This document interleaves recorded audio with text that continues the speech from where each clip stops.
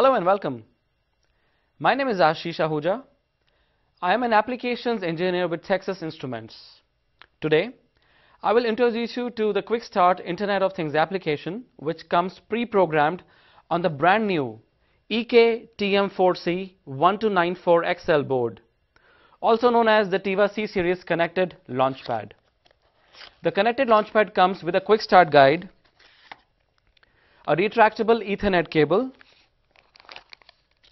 a micro USB cable which we will use to get started with Internet of Things application. The source code for this application can be found in the TIVAware for C series at the location shown on the screen. To get started, let us first connect the launchpad to the Ethernet switch or the router using the Ethernet cable provided in the kit.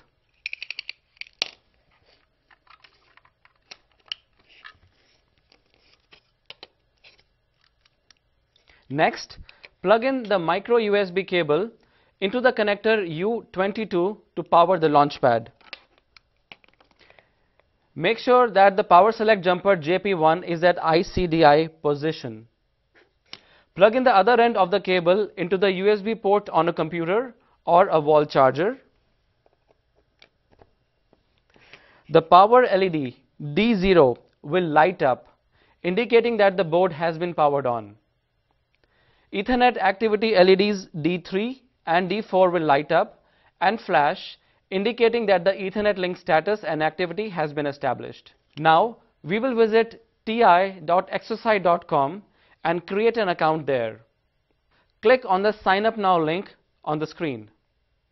Provide your information on the screen that follows and click on the create account button. You should receive an email. Visit the link provided in the email to activate your Exosite account. Coming back to the Exosite portal, locate step 2 and click on the link to add a new device to your portal. From the drop down list, select EK TM4C 1294XL connected launchpad.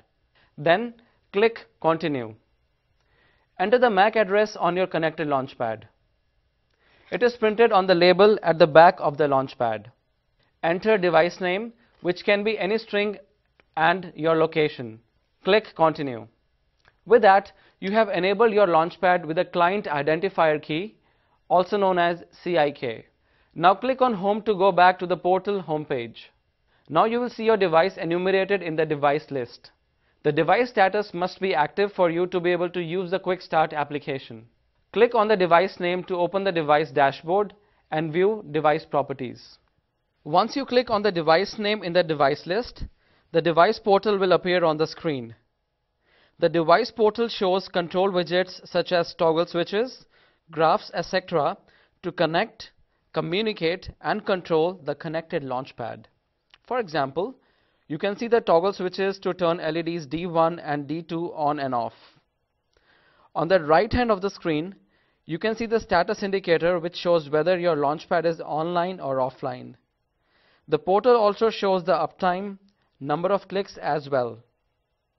The temperature is displayed numerically as well as graphically using the graph widget. You can scroll down and explore other widgets also.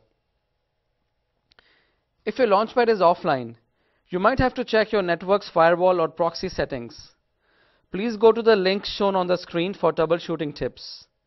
And please refer to step 4 in the Quick Start guide to perform further debugging using virtual serial COM port. If your device is behind a proxy, Connect to the virtual serial COM port and type command set proxy help in the terminal window for configuration information. You can send email alerts from the cloud upon receiving triggers from your connected launchpad also. There are plenty of widgets you can use to make your cloud connected applications cool and interactive. For more examples, please download TIVAware for C series from the TI website. Thanks for watching and have fun exploring ideas with a connected launchpad. What will you connect?